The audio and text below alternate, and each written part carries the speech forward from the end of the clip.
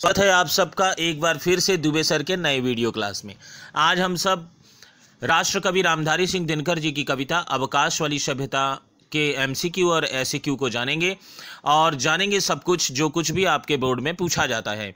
चलिए शुरू करते हैं बिना समय गंवाए। आपको स्क्रीन पर दिखाई पड़ पड़ रहा है पहला क्वेश्चन, अवकाश वाली सभ्यता कविता के रचनाकार कौन हैं? अवकाश वाली सभ्यता कविता के रचनाकार रामधारी सिंह दिनकर। हरि हरिवंश राय बच्चन, सच्चिदानंद हीरानंद वात्स्यायन अज्ञेय जी, या भवानी प्रसाद मिश्र जी। तो आप उत्तर देंगे, रामधारी सिंह दिनकर। दूसरा प्रश्न है, दिनकर जी के प्रथम काव्य संग्रह का नाम बताएँ। खादी के फूल, रेणुका, नदी के द्वीप, हारना तो रेणुका। तीसरा प्रश्न है, कवि रात में किसकी ओर देखता है? चाँद, सितारों, दीपक, जुगनू। मैं आपको बता दूँ कि सारे प्रश्न आपके कविता के आधार पर हैं और उत्तर भी आपको उसी अनुसार देने हैं।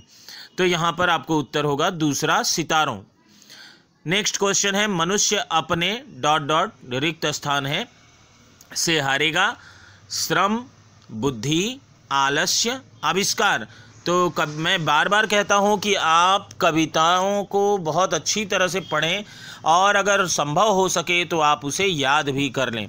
ऐसा करने से आपको बहुत सारे प्रश्न के उत्तर खुद ब खुद मिल जाया करेंगे। तो चलिए देखें क्या है लाइन। मनुष्य अपने आविष्कार से हारेगा। तो यहाँ पर उत्तर होगा चौथा आविष्कार। पांचवा है साबरमती आश्रम है। कहाँ? काशी। उज्जैन, अहमदाबाद या मथुरा। तो हम सब जानते हैं कि साबरमती आश्रम गांधी जी के आश्रम से संबंधित है, जो कि गुजरात में है। और यहाँ अहमदाबाद गुजरात में स्थित है, इसलिए उत्तर होगा अहमदाबाद। नेक्स्ट क्वेश्चन है, रामधारी सिंह दिनकर जी किस काल के कवि हैं?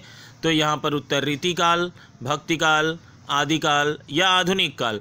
मैं आपको बता दूँ, रामधारी सिंह दिनकर जी प्रगतिवादी कवि हैं।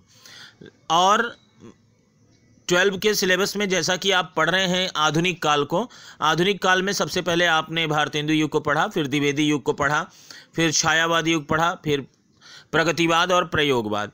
तो चूँकि ये पाँचों युग इस आधुनिक काल के अंतर्गत ही आते हैं, अगर ये इन पाँचों में से कहीं भी होते तो आधुनिक काल ही कहा जाता तो आप प्रश्न को अच्छी तरह से समझ लें कि यहाँ पर आधुनिक काल उत्तर होगा। अगर प्रगति प्रगतिवाद होता या प्रगति वादी लिखा होता तो यहाँ पर हम लोग उसको भी उत्तर, माने तब आधुनिक काल नहीं, तब प्रगतिवादी उत्तर देते। नेक्स्ट क्वेश्चन है गांधी जी किसे बुरा मानते थे? धन को, आराम को, अवकाश को या भक्ति को? तो गांधी जी अवकाश को बुरा मानते थे। नेक्स्ट क्वेश्चन है पीपल की छाया किसका प्रतीक है?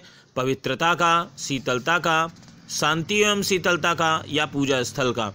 तो उत्तर होगा तीसरा, शांति एवं शीतलता का। नेक्स्ट है, मनुष्य को मारेगा, अत्यधिक लोभ, उसका अहंकार, सुख भोग या महँगाई एवं भ्रष्टाचार। मैंने आपको कहा उत्तर कुछ भी हो, पर आपको कविता के आधार पर उत्तर देना है। इसलिए आप अच्छी अच्छी तरह से समझ लें। मनुष्य को उसका अत्यधिक लोभ मारेगा। दसवां, करघा किस उद्योग से संबंधित है? वस्त्र उद्योग, पर्यटन उद्योग, तकनीक उद्योग या चीनी उद्योग। तो पहला उत्तर सही है, वस्त्र उद्योग। नेक्स्ट है ग्यारह नंबर क्वेश्चन दक्षिणेश्वर किसकी साधना स्थली है? हम सब बहुत अच्छी तरह से जानते हैं, चैतन्य महाप्रभु, रामानंद, रामकृष्ण परमहंस या बिनोबा भावे। तो तीसरा उत्तर सही है, रामकृष्ण परमहंस। नेक्स्ट पांडिचेरी किसकी साधना स्थली है? ऋषि अरविंद गांधी जी कुमार स्वामी या महावीर स्वामी। तो हम सब कहेंगे इसका उत्तर, क्या? ऋषि अरविंद। क्योंकि पांडिचेरी ऋषि अरविंद की साधना स्थली है। नेक्स्ट तिरुवड़मल्लई किसकी साधना स्थली है? ऋषि अरविंद, कुमार स्वामी गांधी जी या महावीर? तो आप उत्तर देंगे दूसरा कुमार स्वामी की। भारत भारत ही रहेगा। यह सूचना कवि को कहाँ से मिलती है? तपस्या से, अध्ययन से अनागत से या राजनेताओं से।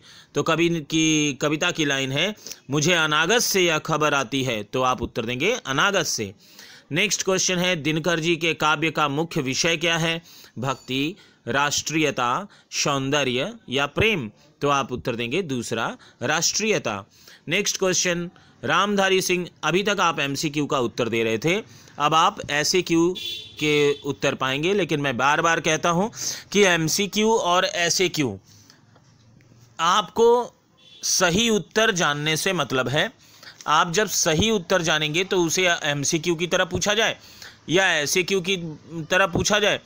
आप उत्तर दे पाएँगे। इसलिए आप इस बात का ध्यान रखें कि ये अत्यधिक महत्वपूर्ण नहीं है कि आप एमसीक्यू पढ़ रहे हैं या ऐसे क्यों बस आप सही उत्तर की तरफ़ ध्यान दें, प्रश्नों को समझें, घुमा फिरा कर जो कुछ भी यहाँ दिया जाता है तो आप उसको समझ के उत्तर सही दीजिए।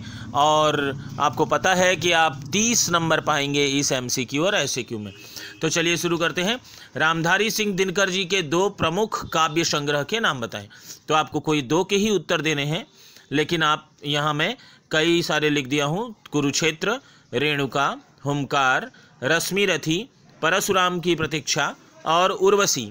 नेक्स्ट क्वेश्चन है, दिनकर जी को, दिनकर जी की दो प्रमुख गद्य रचनाओं के नाम बताएँ। तो उत्तर है, संस्कृति के चार अध्याय, मिट्टी की ओर, अर्धनारीश्वर। तो आप यहाँ ये उत्तर दिए। नेक्स्ट है, दिनकर जी किस युग धारा के कवि हैं? दिनकर जी प्रगतिवादी कवि हैं। अभी थोड़ी देर पहले मैंने आपको बताया था।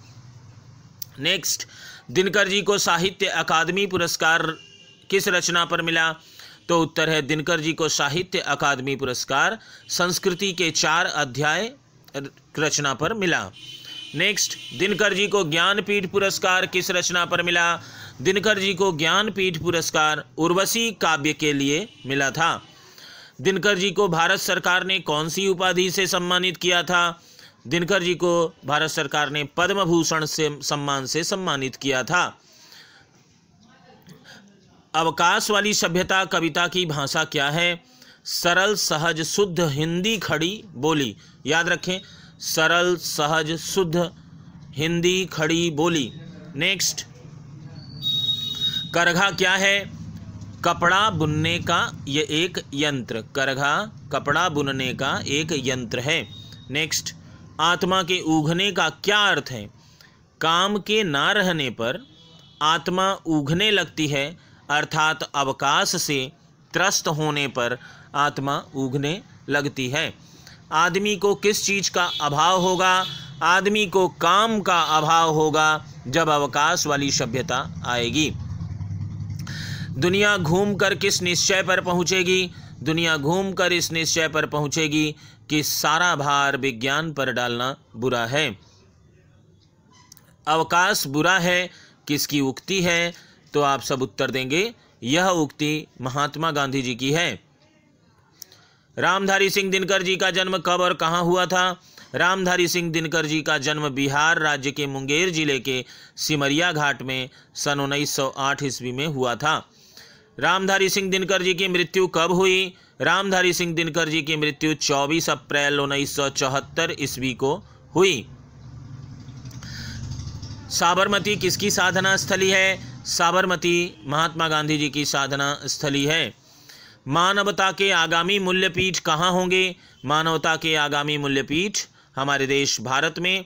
साबरमती, पांडिचेरी तिरुवड़मल्लई और दक्षिणेश्वर के, दक्षिणेश्वर में कवि मानते हैं। अवकाश वाली सभ्यता कविता कवि के किस काव्य संग्रह से ली गई है? आप याद रखें, अवकाश वाली सभ्यता कविता कवि के सामधेनी काव्य संग्रह से ली गई है।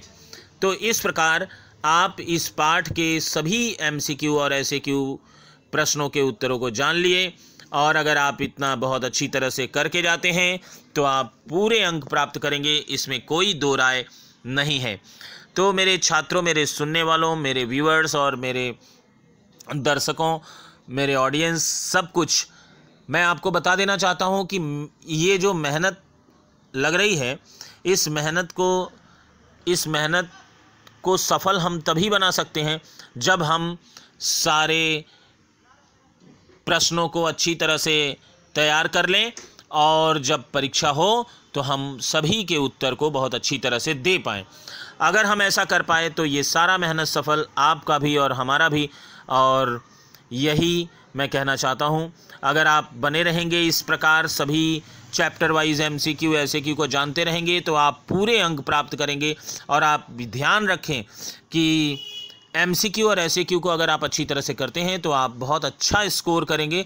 परसेंटेज ऑफ़ मार्क्स बहुत अच्छे आएँगे, क्योंकि काफ़ी बड़ा अंक जुड़ा हुआ होता है एम सी क्यू और एस क्यू से।